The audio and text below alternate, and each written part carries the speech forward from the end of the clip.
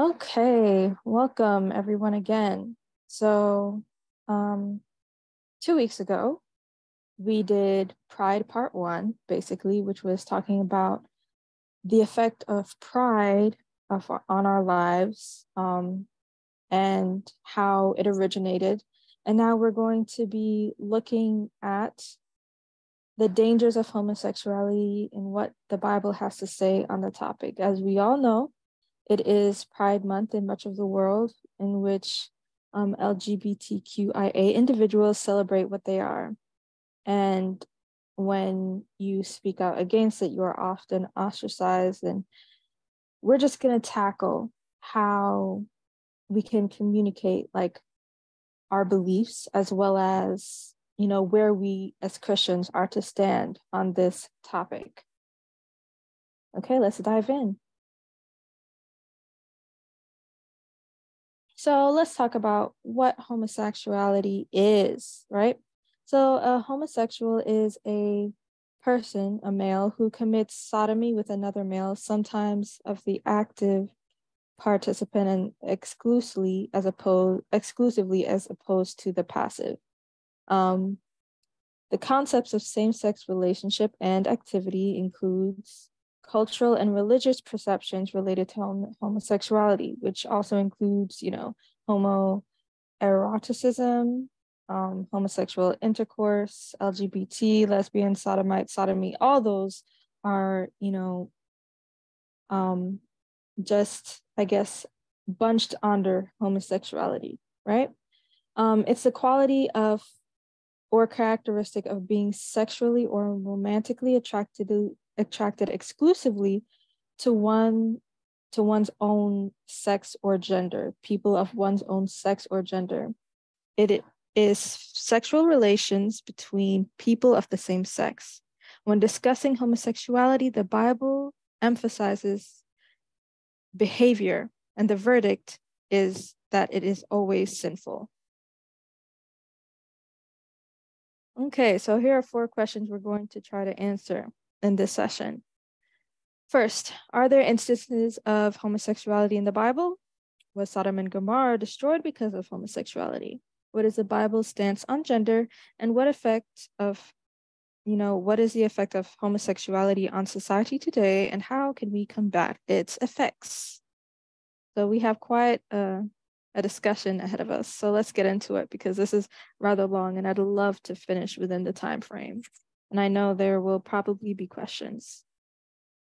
Okay, so I've heard many arguments in favor of homosexuality. One of them is that interest in the same sex is part of human evolution, and that's especially harped upon if the people who are saying this believe in Darwin's theory of evolution, which is false, and already they're wrong, right? They claim that people who change their genders as well trans, they call them, are evolving. That is their final evolution, right? This ideology or any argument made in affirmation of homosexuality and the changing of genders is in direct defiance of God, and it is a gross misin- misinterpretation of the scriptures. In the beginning, God created male and female, and he said they were very good. He made Adam and Eve as intended, and then created the institution of marriage between a man and a woman. It says, Therefore, God gave them over in the sinful desires of their hearts to sexual impurity for the degrading of their bodies with one another. And that is found in Romans chapter 1, verse 24. Sin causes a downward spiral down, down, down, down. It's a sad life history, but it is the experience of all who run from God. And Paul says that all men and women do run from God, trying to rearrange the universe to fit their own desires. In Romans, Paul marks this downward lemming like rush of the human race in three stages. And let's get into that.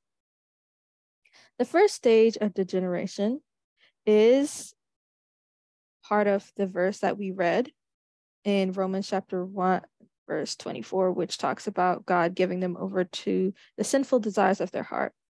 I do not know why when he set out to trace this downward moral path of human beings, the Apostle Paul concentrated on sexual sins, since he could have clearly chosen other sins as well. Perhaps it is because sexual sins are so visible, the sins of the spirit are harder to detect, or because the damage in this area is so evident, or because it was the obvious stinking cesspool of corruption in his day, and therefore something those to whom he was writing would clearly understand. Whatever the reason, and there may be even more reasons than this, it is an excellent example.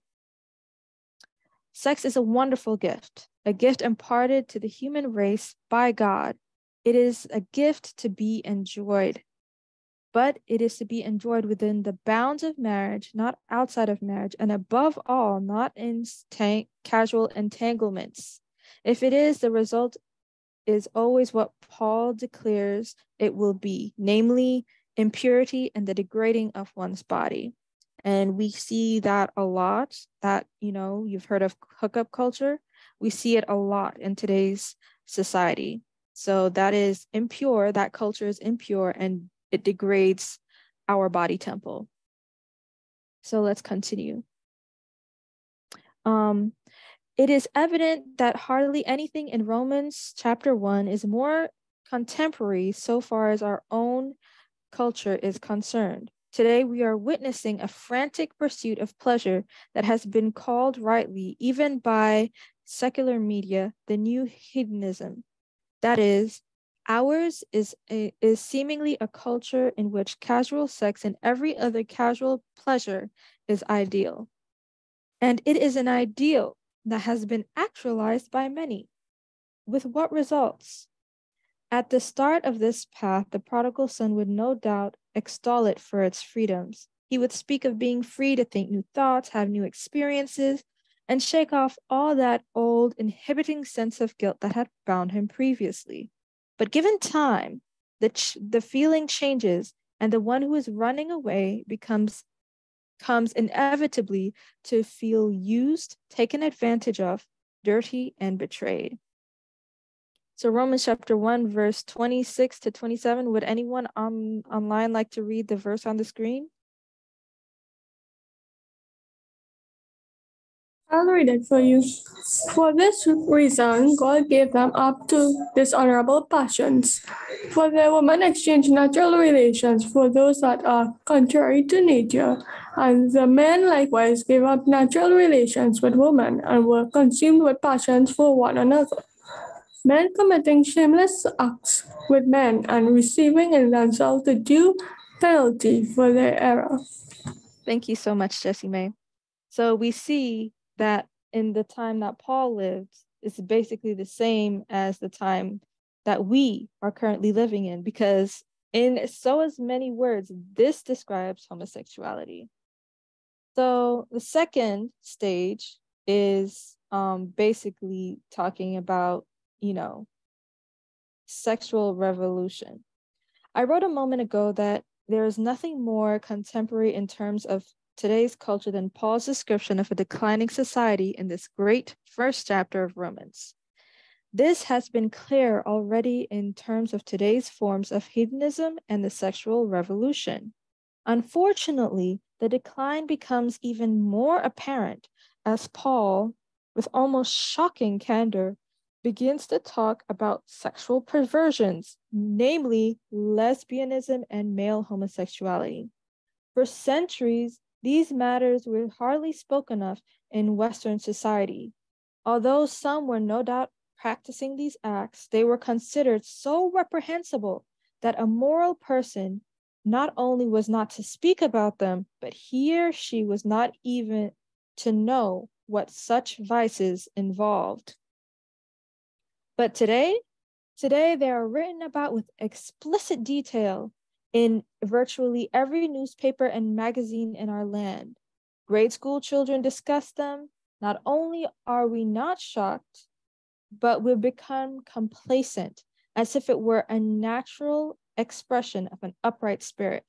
Natural is the important word here. Paul uses it in verse 27, and the opposite term, unnatural, in verse 26 because it explains why this stage is further a further step down the along the moral path. So the first stage was um, basically sexual impurity, right? And the degradation of the body. The next is the complacency or the tolerance of homosexuality. And we see that in today's day and age as it, as we we read here it's talked about and normalized in form all forms of mainstream media. And it's not frowned upon and it's very explicit in mainstream media as well. I mean and now people have um you know two dads and two moms on on television and whatnot and it's just feeding the masses that oh yeah this is okay.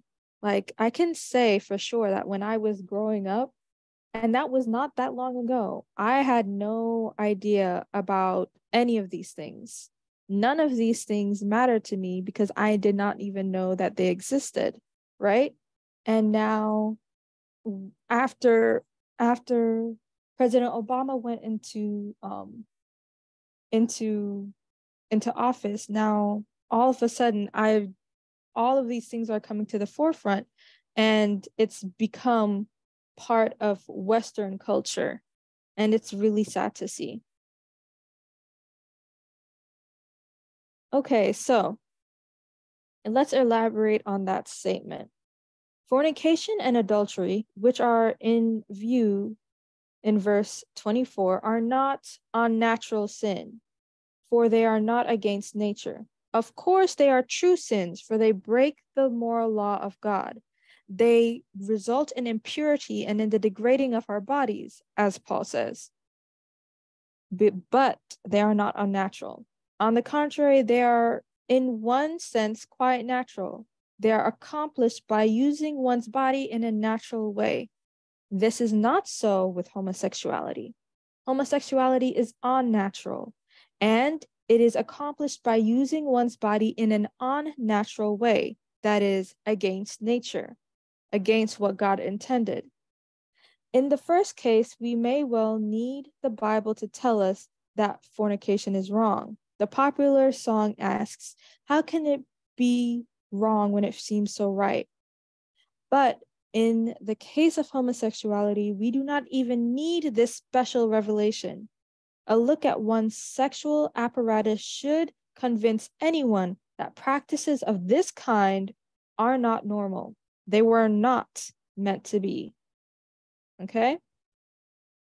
Perhaps this is why, at this point and at no other point in his discussion of the results of our rebellion, Paul speaks of a specific judgment upon the sin itself. In verse 27, it says, Men committed indecent acts with other men and received in themselves the, pen- the due penalty for their perversion. Up to this point, Paul has not been saying that God punishes these or other particular sins with particular penalties, but rather that the abandonment of human beings to committing to the committing of the sin is itself the punishment. That is, God punishes you by letting you do what you want, but not here, at least not only that. Here, Paul speaks of a particular penalty received within themselves by those who sin in this way. And um, the LGBTQ community, they are they have a lot of you know diseases. Of course, those who practice impurity and um, fornication and whatnot also have sexually transmitted diseases, right? But there's a lot of AIDS that goes a lot around in that community, and it's specific to them, right? And yes, it it it's it's really painful to to hear about because that's an autoimmune disease and you can never heal from that, right? So HIV and AIDS, we can we can interpret that that's what that means, right?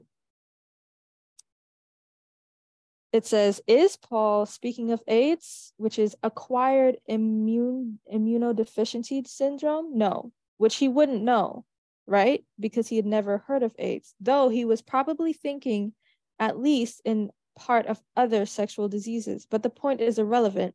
What Paul is saying is that sin does and will have consequences, and unnatural sins will have particularly unnatural consequences. See, Paul didn't know about AIDS or what existed or where it came from back then, right? But we, having the research that we have now, we can see where it come from and the result that it that happens to the body, right? So even though Paul might not have been speaking about it, we can see that that's how that's how the world is. That that's how you know when you commit sin there is a consequence. And this is often the consequence that you know pe- these people suffer from. Okay romans 1 verse 28 says furthermore since they did not think it worthwhile to retain the knowledge of god he gave them over to a depraved mind to do what must what ought not to be done. Okay so what does that mean right? So the first remember the first stage is sexual impurity you know? Um basically hookup culture or whatnot. Second is homosexuality. Third is let's let's check it out. The first time I began to think about this threefold repetition of the sentence, God gave them over, in this section of Romans, it seemed to me at this point something was apparently wrong with the order. Paul is tracing a downward declining path resulting from humanity's re- rebellion against God. Yet here, the order doesn't seem to be downward. We can understand that when men and women abandoned God, God abandoned them. First to sexual impurity, second to sexual perversions. That is surely downhill. But now we find that God abandons them to a depraved mind. Isn't that something that should have come first? Doesn't sin originate in the mind? Shouldn't the third of these consequences have been listed first before the other two consequences? I was puzzled by this sequence until I realized that the depraved mind about which Paul is writing is not just any sinful mind. He has earlier talked about the generally foolish minds and eh, generally darkened hearts of human beings, but about a specifically depraved mind created by continuing down this awful path for a lifetime. At the end is a mind not merely foolish or in error, but it is totally depraved. It is a mind so depraved that it begins to think that what is bad is actually good and what is good is actually bad. May I say it? It is the mind of the devil, which is what Adam chose to pursue when he he followed the dangling carrot. You will be like God, knowing good and evil. Adam did not come, did not become like God, knowing good and evil. Ironically, he became like Satan. And being like Satan, in time, he came to call the good bad and the bad good. How else can one explain man's continual flight from him who alone all good gifts come from? Mm. The evidence of this bottom stage of depravity is disclosed in verse 32 at the end of Romans.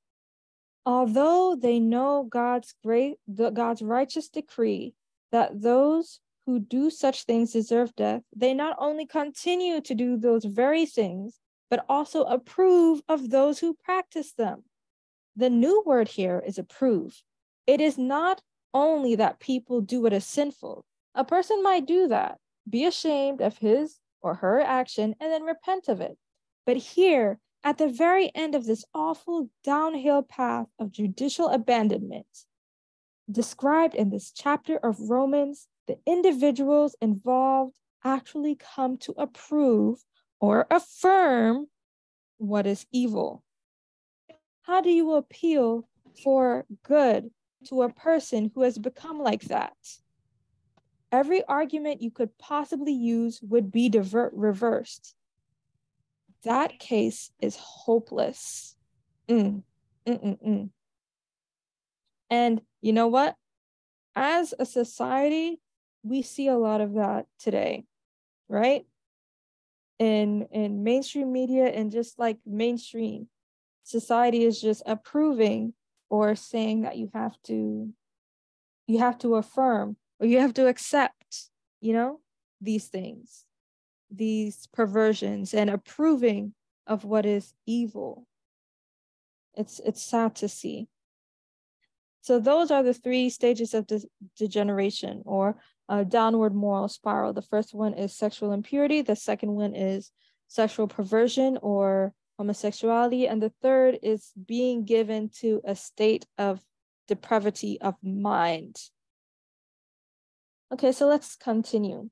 Sexuality has become prevalent in mainstream media. First, it was nudity, then explicit scenes on te- television were normalized, and finally, hookup culture was encouraged. But the people who made movies and dominated the music industry in Hollywood became so bored with these things that they dabbled in homosexuality and it bled down into mainstream media. Now the LGBTQIA, whatever agenda is being pushed. And the widespread acceptance of homosexuality has opened the door to discourse about sexualities, gender identity, pronouns, and the like. And it is the children and the youth who are most impressionable that suffer the most from this. So, what homosexuality distorts God's purpose for mankind? How? So, first we have gender. God has only created male and female. However, sin has distorted his creation and made mankind unhappy with how we were created, right? We don't want to be in the roles that we were assigned. Then we have the rainbow. Through Satan's leading, the meaning of the rainbow has been corrupted. Where it was once a promise, it is now the meaning or it stands for pride, which is the first sin. Then we have marriage. Sin has distor- distorted the original purpose for marriage. People see it as a means to an end, or to have children, or for love. But God, God instituted it to glorify Himself. And these days, people say that, you know, same-sex marriages are just as meaningful and just as sanctified as, as you know, heterosexual marriages, which is not so. And then the image of God is distorted as well. Homosexuality destroys the image of God in man and disregards God's will.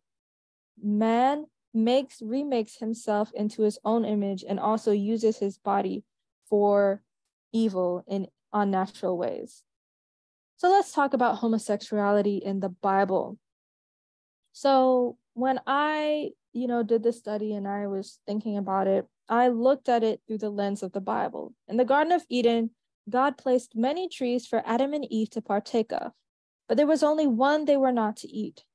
Similarly, mankind has a choice of anyone in the world of the opposite sex to marry or to be with. And yet, people feel so constricted by God's directive that they choose to cultivate same sex attraction and relationships. They go for the one tree that they're not supposed to go from. Not only that, but a propensity towards homosexuality often stems from having been molested and abused as a child, which is sad. It often stems from sin. Sin breeds sin. We all know this.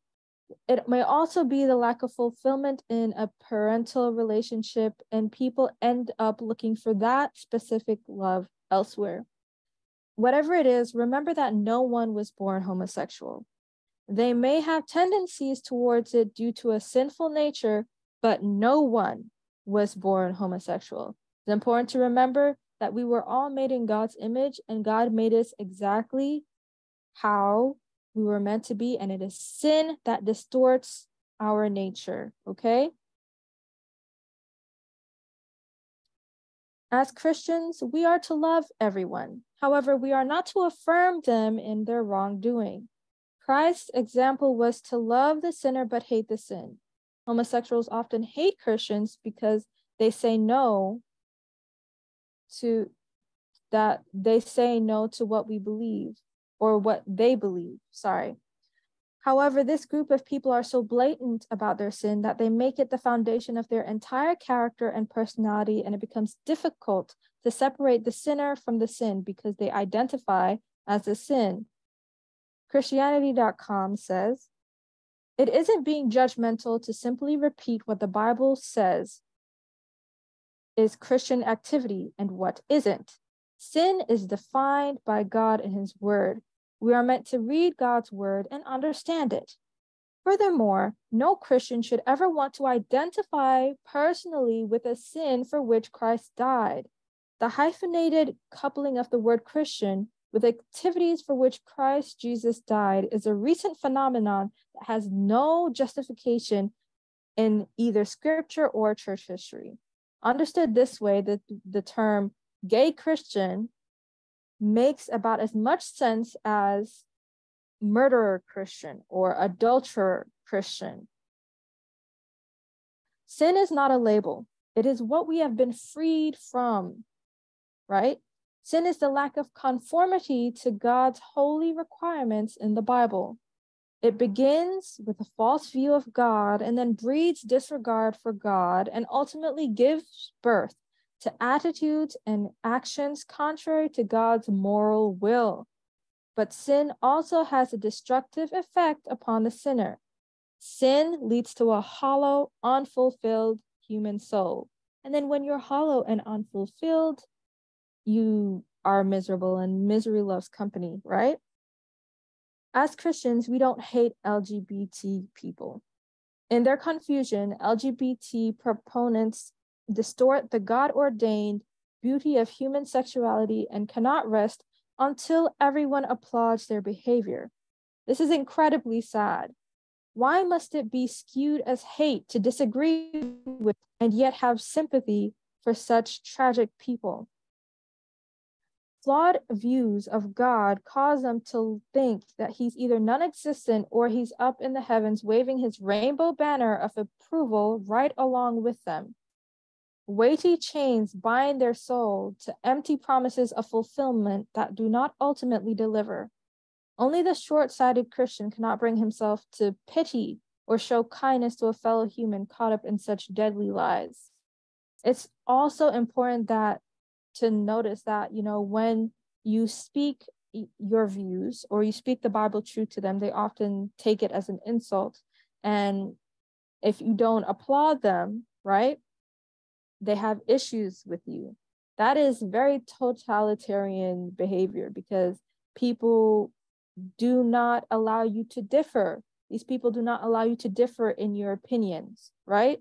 Or in your beliefs. You must agree with them and what they say goes. They are not God and they were not, n- nobody made them God. God did not give them that kind of authority, right? So it's um, it's eh, you know we don't hate them but we do pity them because they are blind. They are so very blind. The feelings of same-sex attraction are often unwelcome and spontaneous for those who are tempted to engage in homosexuality. It is not sinful to be tempted. What it is sinful to do is to yield. This truth about temptation applies to everyone regardless of the sin. Those saying that homosexuality should be affirmed in the name of Christian love directly contradict the Bible. So here on the screen, we have Jude chapter 1, verse 7. Would anyone like to read this for me as we continue on to homosexuality in the Bible? Just as Sodom and Gomorrah and the surrounding cities, which likewise indulged in sexual immorality and pursued unnatural desires, serve as an example by undergoing punishment of eternal fire. Thank you so much. Okay, so some pro homosexual interpreters have claimed that the sin of Sodom and Gomorrah was not homosexuality per se, but homosexual gang rape. While it is accurate to say that the men of Sodom sought to rape Lot's guests, the text does not indicate that the sex would have been acceptable if only angelic only the angelic visitors had consented. Also, the fact that God's judgment came upon two entire cities and those surrounding it argues that it was not just the one instance of gang rape in Sodom that was an offense to God. Instead, God announced plan to destroy Sodom and Gomorrah before the rape incident occurred indicates that the practice of homosexual behavior in both cities was an affront to the holiness of God. When homosexuals demand to car- when the homosexuals demanded to carnally know Lot's guests, they were merely attempting to do again what they had been doing for some time. Lot protested, Do not act wickedly. Also, you can read this story in um, Genesis 19. But long before this, when Lot initially pit, pitched his tent towards the city, we read that the men of Sodom were wicked exceedingly and sinners against the Lord. Again, before the attempted gang rape, God said, This their sin is exceedingly grave. And Abraham also mentioned that they were wicked. Ezekiel chapter 16, verse 49 to 50. Behold, this was the guilt of your sister Sodom. She and her daughters had pride, excess of food, and prosperous ease, but did not aid the poor and needy. They were haughty and did an abomination before me. So I removed them when I saw it. Another pro homosexual interpretation is that the sin of Sodom and Gomorrah was inhospitality and not homosexuality or homosexual rape. An appeal is made from Ezekiel chapter 16, verse 49, which we just read, that Sodom was judged for violating the hospitality code. From this passage, the claim is made of Genesis 19 that the men of Sodom wanted to know Lot's guests, only in the sense of getting acquainted with them. However, the Hebrew word yada is used in a sexual way in the Old Testament at least 10 times, and half of these uses occur in Genesis. Added to this, the context of Genesis 19 argues for the sexual meaning of to know. It makes no sense to say that yada, the word yada, means acquainted with in verse 8 where lot says to his daughter says that his daughters had not known any men certainly they were acquainted with the men of the city but they had not sexually known any men the inhospitality interpreters also point to the absence of any mention of homosexuality in other pa- passages that hold up Sodom and Gomorrah as examples of judgment there are also several problems with this approach. First, these texts do not include homosexuality. In the case of Ezekiel chapter 16, verse 49, sexual sins could be should be viewed as a form of selfishness. But the next verse, which is verse 50, shows that the sin was sexual by calling it an abomination. And we read earlier that um you know the wait let me go to the next slide. Let me not jump ahead. So Leviticus chapter 18, verse 22 says, You shall not lie with a male as with a woman. It is an abomination. There it is, plain, simple, straight, right? In Leviticus chapter 18, verse 22, this is the same word used to describe homosexual sins. Most of all, the problem with this view is that the Second Peter and Jude passages do link the judgment of the cities to the sexual sin of homosexuality, and this does not contradict in any way the ju- other judgment passages. For this reason, those who take the authority of Scripture will seriously will reject the pro homosexuality inhospitality view, right? And even if people have difficulty like understanding that, by God's grace, the Holy Spirit is comes upon them and explains to them because you know the Bible never contradicts itself, first of all. What God says, he means, and he never changes what he says. Second of all, eh, misinterpreting the Bible is not the way to go because if anybody changes the scriptures, yeah, that's that's punishment that's coming for them. Leviticus chapter 20, verse 13 says, If a man lies with a, a male as with a woman, both of them have committed an abomination. They shall surely be put to death. Their blood is upon them. So now let's talk a little bit about gender, right?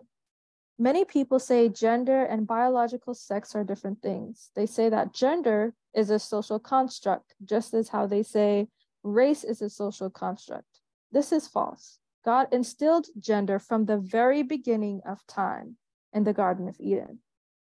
Isaiah chapter 3, verse 9 says, For the look on their faces bears witness against them. They proclaim their sin like Sodom, they do not hide it. Woe to them, for they have brought evil on themselves. First Corinthians chapter 6, verse 9 to 11 says, Would anyone online like to read that for me?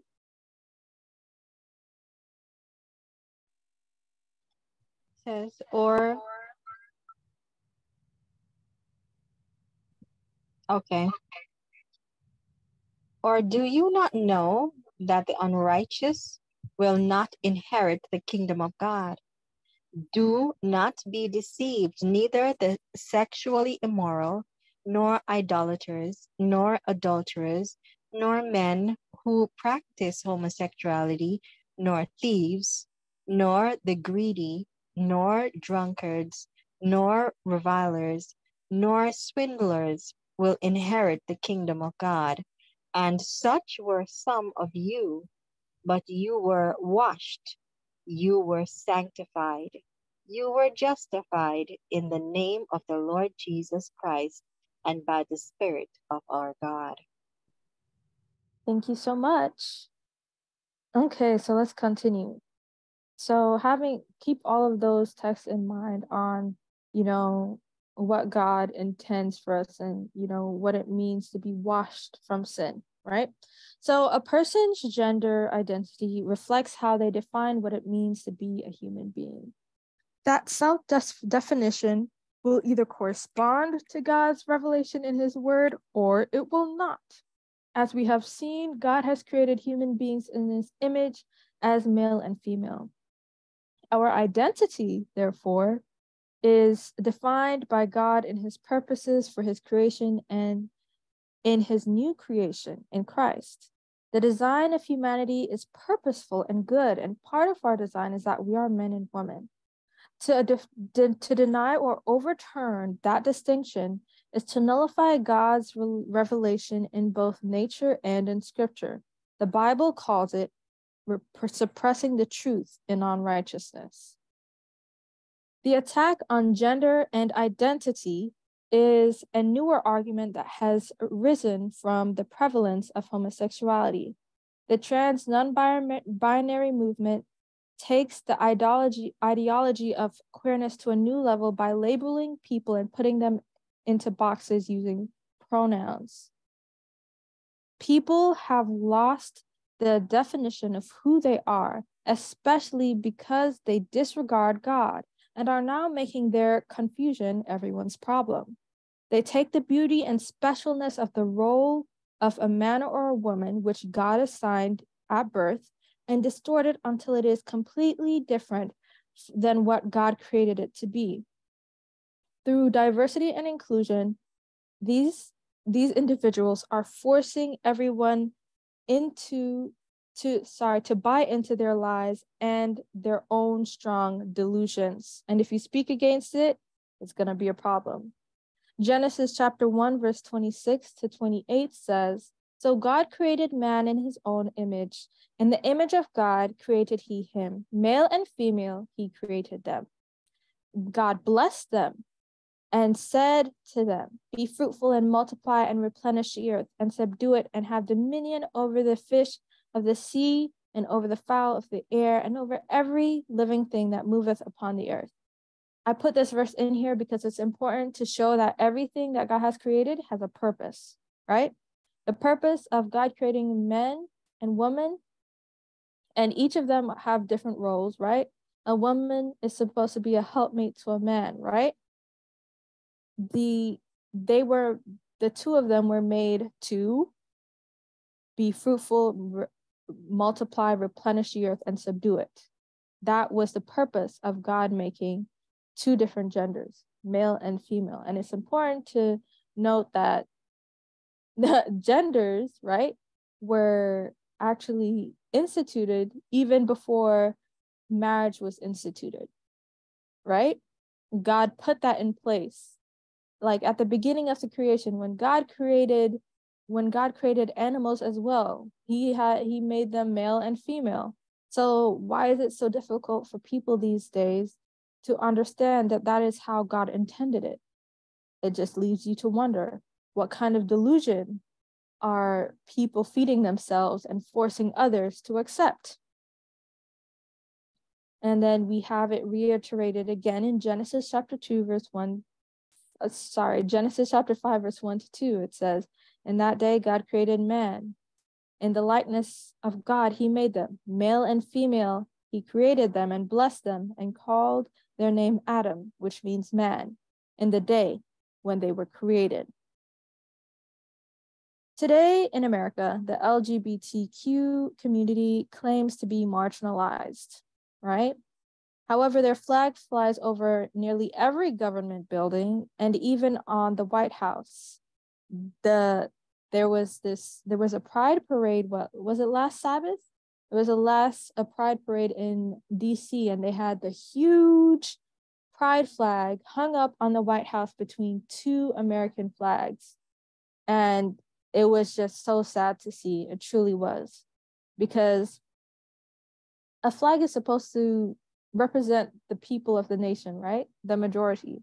But majority of these people are not, do not abide, and majority of Americans do not abide by the flag. And it's a narrative that people are pushing. Oh, that these people are so brave and whatnot. And it's it's just completely destroying what America was built on, right? it America was built on the word of God, on belief in God, and yet they're slowly coming in and chipping away at everything that make made America, you know, God's nation. One would think that the community is being celebrated rather than ostracized. The people who are being ostracized are those who are speaking up and out against LGBTQ ideologies in school, which are brainwashing children and convincing them to be dissatisfied with how God made them and to and to change themselves and mutilate their bodies. Feelings are valid, but they do not point to objective truth. Feelings are valid, but they are not facts. When God said we need to be born again, he did not mean transgenderism. Transgender ideology specifically is Satan's crude counterfeit of creation and the mockery and is a mockery of the teaching of Christ that Christians need to be born again. Only it requires bodily mutilation instead of death to self, and it requires the inward and outward defacement of the body. It is the undermining of God's creative genius and the destruction of his image in us being true to ourselves is always a false choice when it means going against God's words. And this is very true because, you know, the thing that seems right to the way that seems right to a man in the end leads to death. Okay, so it's never worth going against God's word. God's word is life. Anything else, any other feeling that we might have, will likely lead us to our own demise. So, combating homosexuality, we need to protect youth and children. While prayer and the Bible have been removed from schools across America and the world, pride and its ideology have taken its place on the walls and in the classroom. Children are being brainwashed to accept sin, and our sinful nature is all we are and must be accepted and tolerated. As Christians, we need to pray now more than ever, to study the Bible now more than ever, so that we can know where we stand in relation to that movement. And if you're struggling with such tendencies, fast and pray for God to deliver you from that evil spirit. To those struggling with this sin, forgivable and changeable through Christ Jesus, however ungodly and undeserving of heaven, any homosexual might be, there is an opportunity to be forgiven, changed, and declared righteous through Jesus Christ. Paul continues in 1 Corinthians chapter 6, verse 11 to say, Some of you were like this. We read this earlier.